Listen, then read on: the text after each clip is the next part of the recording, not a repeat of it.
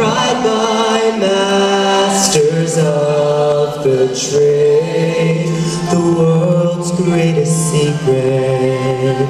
We have this story of the impossible.